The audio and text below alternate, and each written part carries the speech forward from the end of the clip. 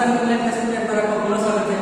पिछली क्लास में हमने कुछ अमरूद, अनार आदि के बारे में बेर आदि के बारे में हमने कुछ रोगों के बारे में हमने पढ़ा था। ठीक है? अब इसमें हम कंटिन्यू करेंगे उसी रोग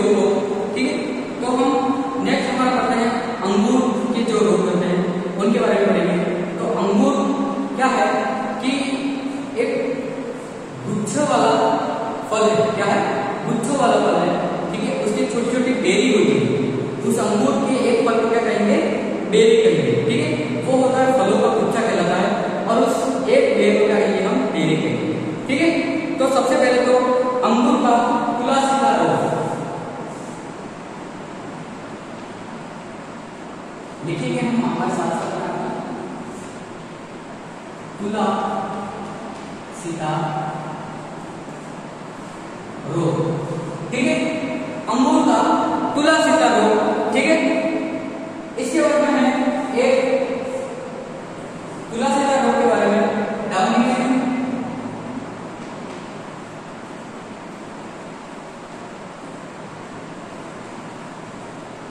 ठीक है? और एक है मृदुभूमि असिता। मृदुभूमि असिता। मृदु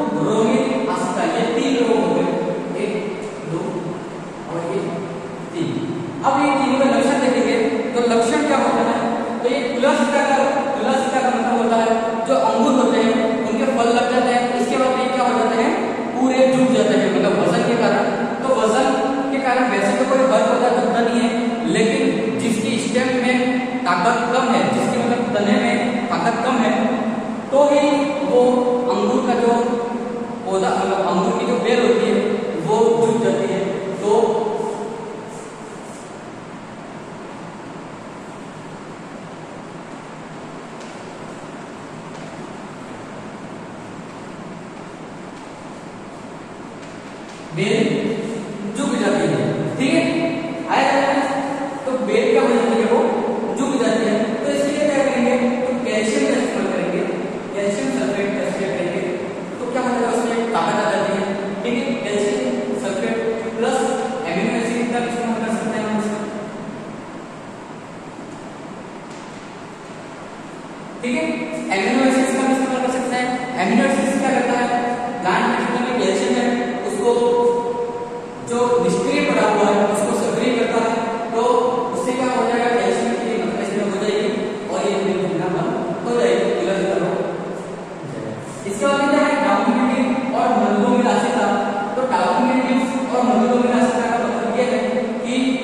जो हमारे उसके प्लांट पे का मतलब सफ़ेद सफ़ेद या भूरे रंग का या काले रंग का पाउडर आ जाना डाउन में और रुद्रों में असिता का रोग है तो कुल मिला के यहाँ पे क्या रहेगा पाउडर हो जाता है।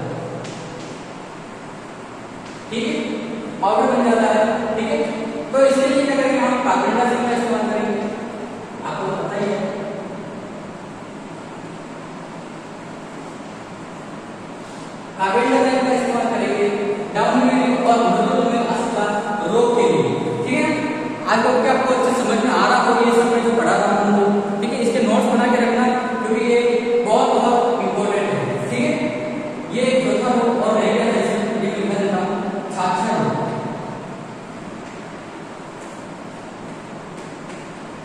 ठीक है?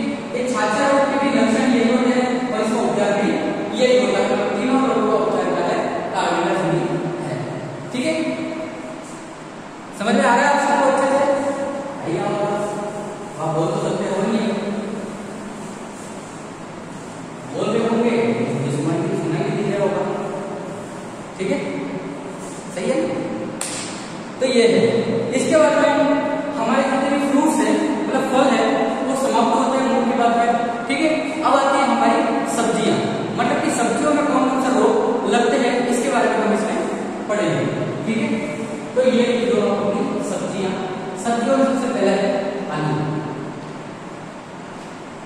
आलू में है ना सबसे पहले आलू सबसे ज़्यादा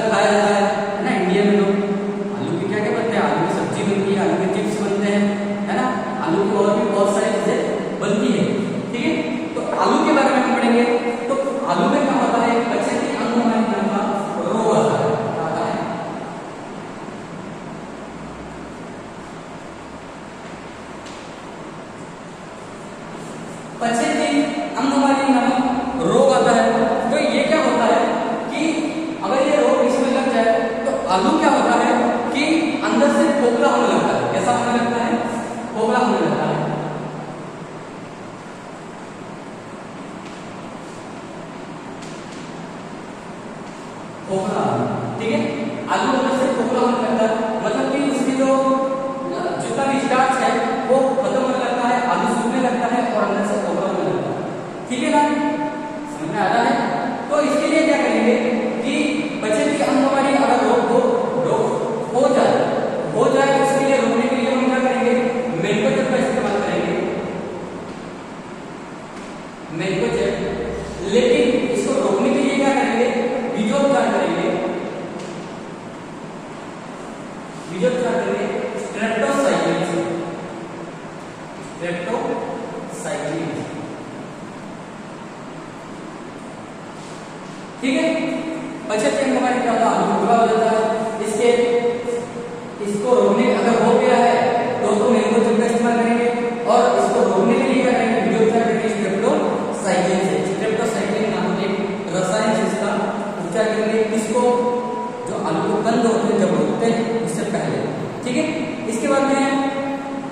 इसके बाद में जो रोड है वो है पोटेटो स्कल क्या है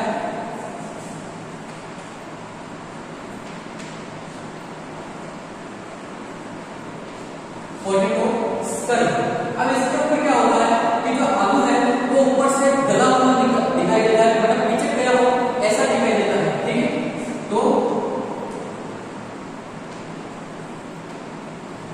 पिचकने जैसा दिखता है। देखो, आलू दिखने में क्या है?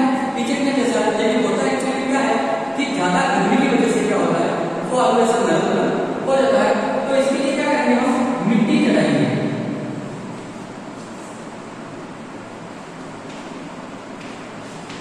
आर्थिक जब बोलते हैं इसको मिट्टी चढ़ाएँगे किस पे मिट्टी चढ़ाएँगे जब हमारा आलू है वो ज़मीन के अंदर ही होता है ठीक है आलू ज़मीन के अंदर ही लगता है तो ज़मीन के अंदर लगता है तो क्या होता है धूप लगने से क्या हो जाता है वो आलू पिचकने जैसा दिखाई दे देता है इसके लिए क्या करेंगे उसके ऊपर हम क्या करेंगे मिट्टी चढ़ाएँगे एक हरापन किसकी वजह से होता है और ये पोटेटो पोटेटो स्कल भी इसकी वजह से होता है। ठीक है? ये आपके जो आलू के जो रोग है, वो भी समाप्त होता है, अंगूर के भी समाप्त होते हैं। ठीक है? तो हमने ये पूरा पढ़ लिया है। आगे क्लास में हम और भी कंटिन्यू रखेंगे सब्जियों को सब्जियों के लिए एक और क्लास लगेगी, उसके बाद खत्म हो जाएगा। इसके बाद हम कुछ अलग अलग पढ़ेंगे। ठीक है? ये रोग है, इनके लक्षण, इनके